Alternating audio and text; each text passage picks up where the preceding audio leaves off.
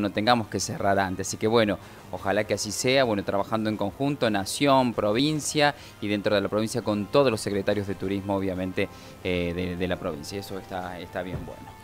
Vamos a cambiar de tema, vamos a seguir hablando de turismo, pero en este caso vamos a contarles que comienzan los circuitos pedestres por la ciudad y la tenemos a Elizabeth Boca, que es la presidenta de la Asociación de Guías Profesionales de Turismo. Elizabeth, ¿cómo estás, Eli?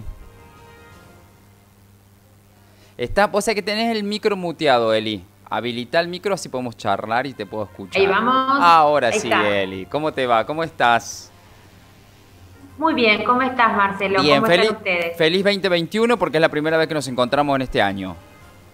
Así es, feliz 2021. Bueno, y... Ojalá que sea un gran año. Sí, Dios te oiga, Dios te oiga. Eli, pero bueno, por lo menos a la catástrofe que vivimos durante el 2020 con respecto al turismo, que no se movió nada, situaciones extremas, ahora por lo menos empezamos a, a hacer algunas actividades y eso es importante, ¿no? Sí, eh, la idea es empezar a activar de a poquito todo lo que tiene que ver con el turismo. Nosotros sabemos que por una cuestión de protocolos y por diferentes razones, la gente por ahí no toma demasiadas excursiones en bus. Entonces pensamos que una muy buena opción era hacer los circuitos pedestres. Algo que jamás se hizo en Carlos Paz es la primera vez que, se van a hacer este tipo de circuitos. Córdoba capital o las grandes capitales del mundo tienen este tipo de circuitos. Es real, es real, es real. Eh, y, bueno, es como que dijimos, es un desafío, creemos que tenemos mucho potencial como para poder hacerlo. Exacto. Y le permite a la, a la gente que nos visita poder conocer Carlos Paz desde adentro. Claro. Eh, teniendo el contacto con la gente, y teniendo contacto con aquellas vivencias propias de nuestra ciudad. Y que está bueno y que hay mucha gente que cuando uno llega a una ciudad tiene ganas de conocer de, qué se trata, cómo, cómo, es, y más Carlos Paz, que, es una ciudad medianamente nueva, ¿no? Sí, nosotros tenemos una ciudad que tiene sus callecitas angostas. Es verdad. Entonces hay cosas que nosotros arriba de un colectivo no se pueden mostrar. Tal cual. Y entonces, bueno, la propuesta es poder hacer un circuito caminando que no lleve más de hora y media y que le permita a las personas poder conocer diferentes aspectos de nuestra ciudad. el aspecto histórico-cultural. Eso, ¿por dónde, ¿por dónde va a ir la caminata? A ver, a ver, a ver si me animo a hacerla yo también. tenemos por el momento, bueno, va a haber varios circuitos, nosotros tenemos las carpetas armadas, ¿no? Pero hay tres que ya están para salir uno que tiene que ver con el aspecto histórico-cultural, con lo que fue el nacimiento de casco de estancia a ciudad turística, pasando por la historia y los monumentos más importantes que tiene la villa. El otro circuito pasa por aquellos hitos que hicieron de alguna manera o que fueron de alguna manera los ejes turísticos o los ejes de promoción turística. Y hemos abordado el tema del teatro.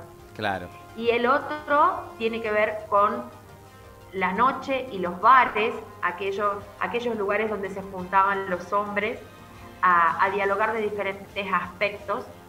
Un bar, como siempre nosotros decimos, es un lugar de encuentro, claro, donde se han tejido historias de amor, historias de odio, eh, diferentes relaciones, hasta una relación de trabajo, eh, y como muchas veces hablábamos con los chicos, el clearing bancario se desarrollaban en, los bares. Claro. Eh, porque no, había posibilidad. Entonces tenemos una muy linda historia de los bares en la ciudad de Carlos Paz y los hemos eh, dado a llamar los bares temáticos. Arrancamos con el primero y terminamos eh, en uno de los bares que es muy conocido aquí en la ciudad. Vamos a pasar por todos, obviamente, pero tiene que ver con, con, con eso que llevó a la ciudad a que, las, a que la gente viniera de diferentes lugares específicamente a visitar los bares. Así es, así es. Me gusta, me gusta la idea. Uno puede eh, elegir uno, otro o, el tercero, o tercera opción. Uno elige, nosotros tenemos eh, dos una modalidad de trabajo. Hay circuitos por la mañana y hay circuitos por la tarde. Bien. En diferentes horarios. Eh, hay que contactarse a los teléfonos que figuran en todos los flyers. van a ver si entran a la página o al Instagram de la asociación, allí están todos los teléfonos se, eh, se concerta previamente, esto es con cita previa, lógicamente, claro. por esta cuestión del protocolo y por esta cuestión de la declaración jurada y por esta cuestión de los cuidados que nosotros tenemos que tener ahora. Entonces se hace, todo se concerta el día antes y se puede tomar, obviamente cada uno va a tomar el circuito que más le guste en ese momento. Claro, eh, pero la opción es poder acompañarlos. Nosotros lo vamos a hacer, lógicamente, con no más de 10 personas, que es lo que el protocolo nos, nos, nos permite poder hacerlo. Y lógicamente tiene un costo que es sumamente accesible. Bien, que eso es lo importante, ¿eh? que es lo importante. Y está bueno, y aprovechar las mañanitas para salir a caminar, por ejemplo, las tardecitas de Carlos Paz, la verdad que es muy lindo. Y conocer un poco de historia, yo creo que la gente se va a aprender. Y hay mucha gente que vive en Carlos Paz que no, que no sabe nada de la ciudad también, ¿eh? porque son nuevos que o hace poco que vinieron a vivir a, Carlos Paz y me parece que también podrían tomarlo. ¿eh? Lo bueno de estos circuitos es que al final de cada circuito siempre hay una sorpresa. Ah, me gusta Entonces es como que quienes hagan el circuito no solamente se van a llevar eh, parte de la historia, de la cultura, de los ejes temáticos, de los ejes turísticos, sino que se van a llevar una sorpresa. Nosotros de alguna manera agasajamos a quienes nos, nos visiten y vamos a agasajar a quienes elijan hacer estos circuitos. Qué bueno. Cabe recordar que los circuitos van a ser realizados por guías, los guías son todos guías profesionales, eh, debidamente acreditados y, y nosotros quisimos de alguna manera poner en valor todas aquellas cosas que hacen a nuestra ciudad una ciudad turística.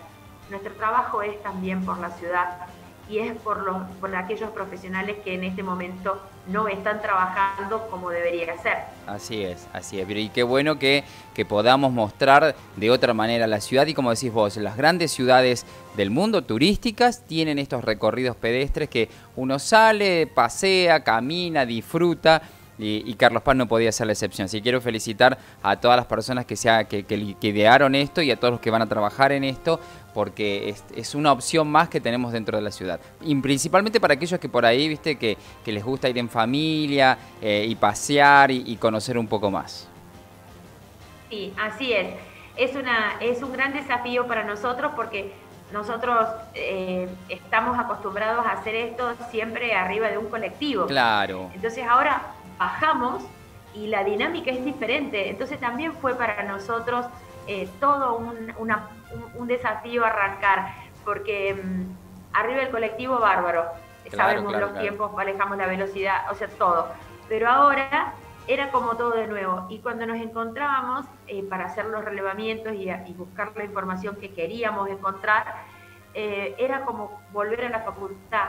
Claro, nosotros claro, claro. decíamos eso, es como que esto nos permitió a nosotros también como desempolvar los libros, desempolvar los apuntes, ver algunas cosas.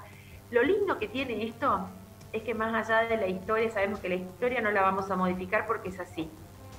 Pero una de las cosas que, que tienen los circuitos pedestres, eh, los famosos walking tours, es que nunca uno va a ser igual al otro. Claro, Yo hoy puedo tener pasajeros de la provincia de Buenos Aires. Es verdad. Y seguramente la información que ellos van a requerir va a ser una. Y mañana tendré gente de Córdoba y seguramente hablaremos de otra cosa. Otra, tal cual. Y eso es lo lindo. es lo lindo que tiene. Que siempre va a ser diferente, siempre es dinámico, más allá de que hay cosas que no van a cambiar. Claro. y la gente tiene eh, distintas preguntas para hacer, ¿viste? Distintas inquietudes. Entonces, también con respecto a eso, ¿viste? Que se va generando algo distinto. Yo tenido oportunidad de hacerlo en México a eso. En México se usa mucho. Sí.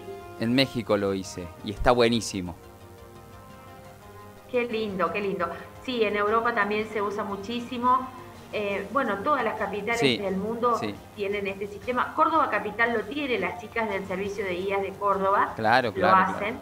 Y, y, tienen diferentes temáticas y bueno, nosotros hemos arrancado con estas y seguramente va, a haber otras. Tenemos en carpeta eh, el, circuito gastronómico que no se podía dejar de hacer, sobre todo aquí en Carlos Paz. Eh, también está en carpeta todo lo que tiene que ver con la música y toda la parte artística. Así que está Porque Carlos Paz es una ciudad que tiene mucho arte. Exacto. Eh, y, y, entonces que también queremos nosotros rescatar ese tipo de cosas. Así, que estamos en ese trabajo de, como decimos nosotros, hoy estamos trabajando desde adentro. Es verdad. Eh, y un poco la pandemia nos trajo nuevamente a nuestra casa y, bueno, esperemos realmente que les guste, que quieran hacerlo. Seguro que sí. Y de alguna manera cuando contraten eh, un servicio sepan que están contratando y dando trabajo a un guía local. Exacto. Eli, felicitaciones, gracias por esta iniciativa y obviamente las puertas abiertas del canal para, para ir difundiendo todo lo que hacen. ¿eh? Muchísimas gracias, que tenga buenos días. Igualmente, buenos días. Ahí está Elisa de Boca, me encanta esta idea, está buenísimo. Te armás una especie de city tour caminando, encima las mañanas Carlos Paz están hermosas, vas, disfrutás, conoces un poco de historia y eso a la gente le va a gustar mucho. Vamos a hacer la primera pausa en la información. Tenemos invitados hoy. Seguimos con el Teatro Independiente. Seguimos mostrándole a ustedes distintas opciones que hay de teatralmente hablando aquí en Villa Carlos Paz. Así que en el próximo